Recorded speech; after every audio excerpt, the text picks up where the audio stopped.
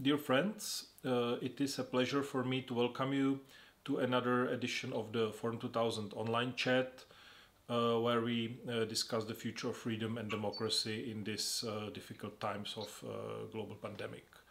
Uh, today we will focus on Hong Kong, where last year, 2019, was the year of major protests, first triggered by the controversial extradition law and then they developed into a wider pro-democracy movement which uh, culminated in uh, the fall in November in the uh, in the district council elections that were uh, won by a landslide by the pro-democracy camp. Um, the the protests then uh, seeded at the turn of the year with the growing COVID pandemic, and we have seen a, a calm down in in the city.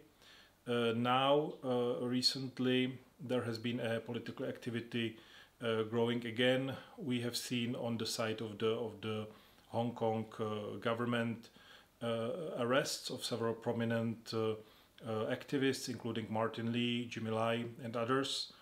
Uh, and we have also seen uh, cabinet reshuffle and and some some other developments um, that may be also indicating a movement uh, towards the upcoming uh, legislative elections in September.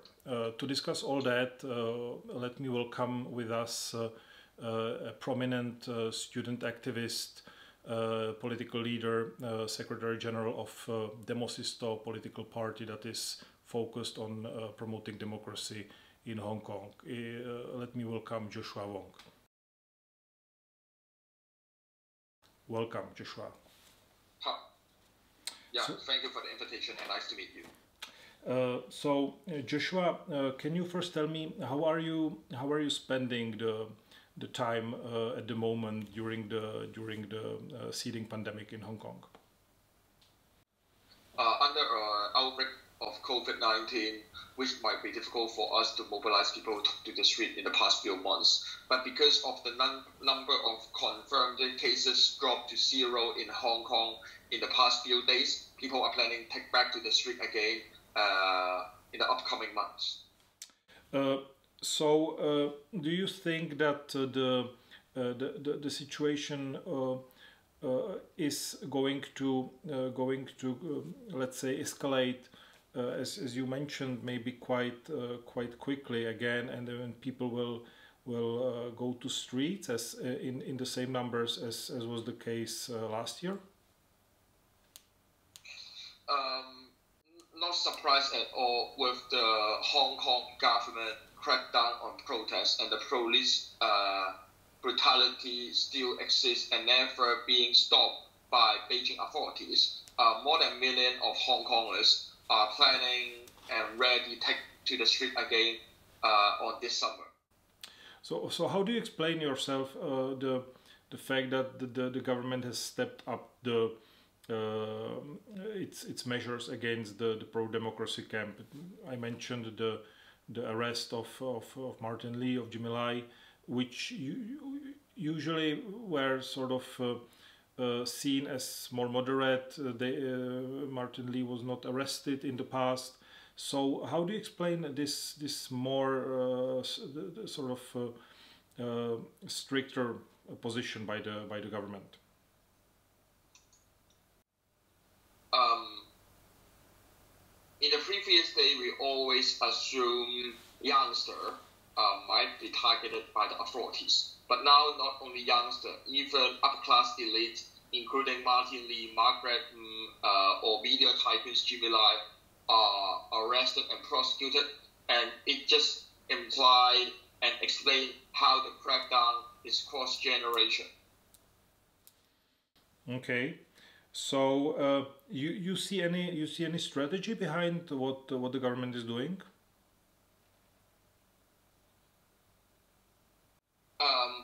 Now the government is taking the advantage of the outbreak of coronavirus, and uh, when the global community is paying uh, paying effort uh, to try to stop the uh, outbreak of the pandemic, Beijing totally just hope to silence the voice of dissident, no matter whistleblower or uh, journalist in mainland China, or how an activist or politician in Hong Kong fight for democracy. So how Beijing advantage from it uh, on the global level, manipulate on WHO, on the uh, region level, silencing the voice of activists or uh, what we witnesses. Um, let's uh, let's now turn to your uh, your own political organization, Demosisto. Uh, last year in the in the November uh, district council elections, you were excluded from running you yourself personally uh, from running in those elections. Uh, the elections then were even even in, despite that were won by a landslide by the pro democracy camp with a record turnout of, of Hong Kong voters. Uh, what uh, is your plan as as political party in uh, for the upcoming legislative elections? Will you be running? Um, uh, instead of uh, considering will Beijing Party to run for office, I think more critical and important is uh, will Beijing cancel the election or will Beijing unseat lawmaker after the election? So what my prediction is, if pro-democratic camp in Hong Kong successfully uh, take the majority in the Legislative Council, Beijing might recognize as the constitutional crisis and might unseat all the democratically elected lawmakers. But if all democratic camp can't take the majority in the election, uh, everything will remain unchanged, and Beijing will continue allow those Beijing loyalists to operate and manipulate the legislative council in Hong Kong. Uh, so what what is your uh, what is your plan for uh, for that uh, situation? If, uh, for example, the the uh, pro democracy camp wins, you achieve over 35 seats, which would be the majority of the of the legislation. Yeah. Then are you and, and then as you as you as you suggest the Beijing might or the pro-Beijing government might, uh, let's say, uh, abolish the, the, the, legislative council, if I understand correctly. What would be your plan then? Um, according to my understanding and what I realize is um, we should continue our protest on street in the upcoming summer and also try our best to maximize the number of seats in the Legislative Council. As you mentioned, hope to more than 35 uh, seats in the Legislative Council. But more important at the same time is how we could continue the international advocacy. If Beijing decided to unseat uh, all lawmakers in the Legislative Council and appointed lawmaker, just like what happened in 1997 in Hong Kong, appointed those legislators to set up the meeting in Shenzhen to decide uh, on Hong Kong affairs, which just implies separation of power uh, fade out already in Hong Kong, and it's also the time to call for international sanction. Uh, so, uh, what should be the what should be the international community doing now and during and after the elections? What would be your, your concrete suggestions? Uh, I urge uh, for global community, uh, for the government, just like United States, they should implement the Hong Kong Human Rights and Democracy Act. And for European country, they should consider should they implement Global Magnitsky Act uh, on Hong Kong authorities. Uh, I know it might be under the outbreak of virus, uh, government around the world are trying to spend time to deal with the pandemic.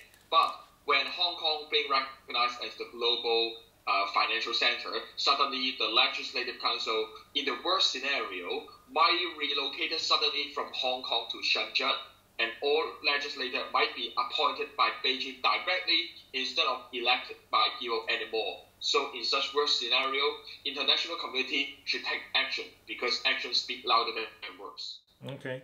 Uh, uh, returning to returning to uh, Hong Kong itself, what is the what is the the atmosphere right now? What is the uh, how do people uh, in Hong Kong, uh, your peers, people in your party or, or fellow students, how do they see the how do they see the situation right now?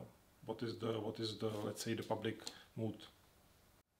Uh, with the outbreak of pandemic continued widespread in the past few months, and finally, uh, situation uh, turned better because of the contribution of civil society. It just strengthened the empowerment and the bar, uh, bargaining power of uh, pro-democratic camp in Hong Kong and also enhance more and, and, more people dissatisfaction to the government. For example, the dissatisfaction rate to the city's leader Carrie Lam uh, increased from December to March, according to the opinion poll conducted by Reuters.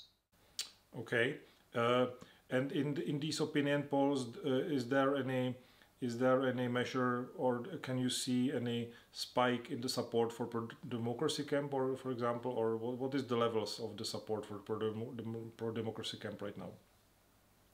Uh, the, the supporting rate of pro-democracy camp uh, gradually increased in the past few months because uh, everyone realized how Beijing lies resulting people die all over the world and how the manipulate of WHO also let Hong Kong people realize that uh, how uh, the Chinese delegation uh, on the global community continue to export the authoritarian discourse to different kind of world organization, which is really disappointing. How do you see the uh, role of China uh, changing with the with the current uh, COVID pandemic? Yeah. What okay. will be the consequences of the pandemic for the China's position yeah. in the world? during the outbreak of SARS in 2003, China uh, is still not being recognized as the second largest superpower in the world, uh, but now it's already the largest authoritarian regime in the global community. So compared to the outbreak of SARS in 2003 and the outbreak of COVID-19 uh, in the recent months, I think it just implies how World Health Organization override uh, global health issue by national pride and Beijing interests. Uh, in the previous day, the threat of China might be more, more on political spectrum or political field. So for uh, general public or resident in different country, they might not really care about what's going on on the diplomacy or China. But, but I think the fundamental issue is uh, when it when the threat of China is not only related to political rights. It's even affected the daily life and the health issue of every community, family, all over the world in different countries. It just let people realize, even on the more layman perspective, what is meant by the threat of China.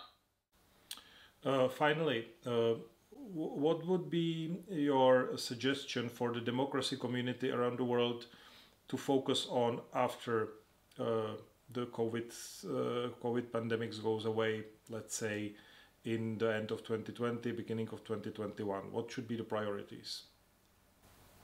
Uh, in the end of 2020 or the uh, or early 2021, uh, I think how will be the civil unrest and the tension of Hong Kong and Beijing, which is really critical because Hong Kong is stand in the forefront to confront the authoritarian crackdown from Beijing. So how will the turnout? No one could imagine. Just like on uh, May or April of 2019, no one could imagine the protest movement in Hong Kong will result in two million people took to the street. But it finally happened.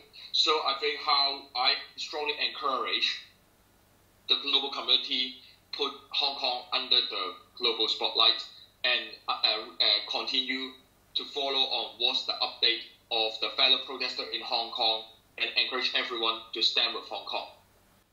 Well, uh, uh, I, I, wish you all the best in in in the, in the in your efforts. Uh, for sure, the democratic community, at least, at least uh, the democratic community connected to Forum 2000 stands with you. I wish you to stay safe and wish all the people in Hong Kong a good uh, outcome of uh, of all this and hopefully uh, better, more democratic future. Thank you for the interview.